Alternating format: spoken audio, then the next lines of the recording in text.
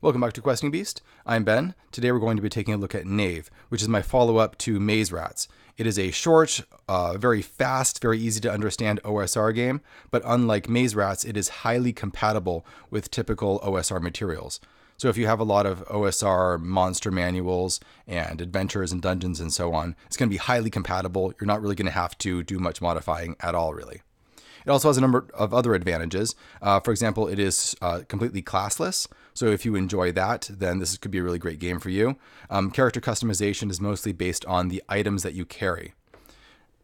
Here's a picture of the character sheet here.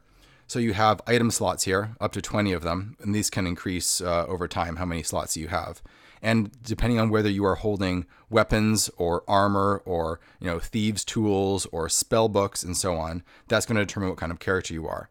This makes it fairly easy for you to switch up the type of character that you want to play based on changing out your inventory. It also uses optional player facing rolls, which means that it's very easy to switch between players doing all of the rolling or GM and players rolling, depending on um, your preferred style of play. It uses the copper standard for all of the prices, which I like. It has a list of 100 levelless spells, and some of my favorite aspects of this is that it is completely uh, Creative Commons um, international license, meaning that anyone is allowed to take this game apart and hack it and modify it and do whatever they like with it, as long as they give attribution. And to make that even easier, what I've done is whenever you download this uh, book from DriveThruRPG, and I'll put a link down in the description below, um, you'll find that it comes with the Word document that I used to make this. So it's very easy for you to use that to create your own version of Knave. I strongly encourage and I even expect people to use this as a framework and to create the type of game that is perfect for them. That's what I do with all of my games, and I wanted to encourage that in anyone who looks at Knave. It also comes with some uh, designer commentary. So, one thing I really liked in books is when I can see what the designer was thinking when they wrote particular rules. So, I've added designer's notes. So, we have a character creation done in four simple steps here. You roll your six stats randomly. Now, one thing that I've done with my stats that's a little bit different is that instead of having abilities and bonuses, you have a defense and a bonus. This works similar to Shadow of the Demon Lord if you're aware of that game basically you have a defense that goes from 11 through 20 and then you have an, a bonus that's related to that. So if your defense is 12 then your bonus is plus 2 so those are always linked together.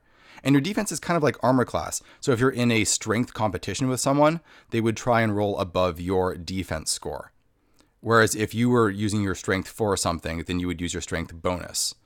Um, so basically it works like armor class and then even your armor has a defense and a bonus, depending on whether it's all going to be player facing or DM and players rolling. I have um, examples in the text for how that is, exactly going to work. So you can roll for most of your equipment, similar to Maze Rats. This makes things very quick to create a character. Of course, if you want to go shopping, you can go shopping. Uh, I have a list of all the different things that you can buy with prices for everything and we have randomizing. Uh, you can randomize your traits, your physique, face, skin, hair, clothing, and so on.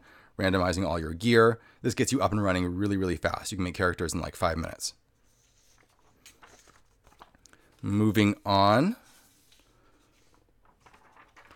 we have our basic rules for playing the game. Uh, going through how item slots work. Item slots are the character customization slots of the game, essentially. We have how saving throws work, which are like skill checks or ability checks and the target number is always uh, you have to roll higher than 15 or with roll 16 or higher. So when since your uh, ability scores or sorry your bonuses go from plus one up to plus 10 and you're always trying to roll a 16 or higher that means that starting characters are going to have about a 25% chance of success since their ability scores or their bonuses will be fairly low and then by the time they get to level 10 which is the maximum then they will usually have a plus 10 in some of their bonuses which will give them a 75% chance of success. So you're always going to be within those limits, roughly. And that mirrors uh, what we see in the saving throw systems in old school D&D. So I wanted the ability scores to mirror that. We have some basic rules for combat, pretty straightforward, although it has um, examples of how to do player-facing rolls. We have the basic system for doing stunts, and uh, using advantage in combat to do more interesting things than just you know you hit I hit. We have a easy little system for quality of weapons, so weapons and armor can break down. Um, and your basic OSR rules, including some rules for how to adapt monsters to Knave. Like I said, it's very straightforward. Most things you're not going to have to change at all, really.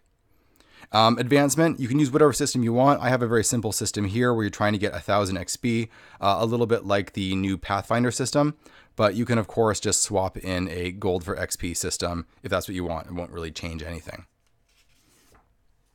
One of my favorite parts of the whole game is the magic system. I really like weird magic systems, um, as you may have learned from looking at Maze Rats. And how this works is Okay, so when I've looked at old OSR games, there's a, a number of things that have always seemed weird to me. Um, a, the way that spell levels don't correspond to character levels. That's always seemed weird to me. Well, it works that way now. So basically, if you are a level 3 character in Knave, you can cast um, spells that are up to level 3. So that keeps things really simple. Um, also, how spell slots work has always seemed weird and it's varied so much from edition to edition. So in Knave, how it works is your spell slots are your item slots. Basically, if you pick up um, spell books, you can find them as treasure or loot throughout the world. You simply stick them in your item slots, and the more spell books you're carrying, the less other things that you can carry. So your equipment is your spell slots. You want to be a full on wizard, you're going to have to take up most of your equipment just hauling around your mobile library because each spell book is a spell. You don't have one spell book just full of written down stuff. Um, I really like that visually, and it's really fun mechanically as well. You can use whatever you want for spells, really. If you want to use your classic D&D spells, there's a lot of uh, free lists of those on the internet that you can use.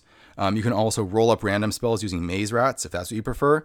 But I also have 100 levelless spells um, ready to go here, which um, alter in power based on the level of the character. So they simply grow as you grow.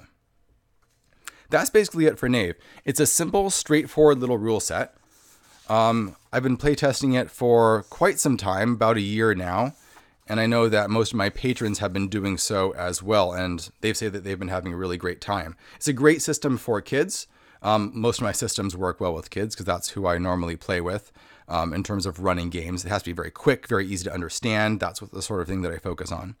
Um, but it's also a really great framework for just running classless games. If you want things to be really simple and not have to teach people a lot of the fiddly little rules that come around with almost every edition of D&D.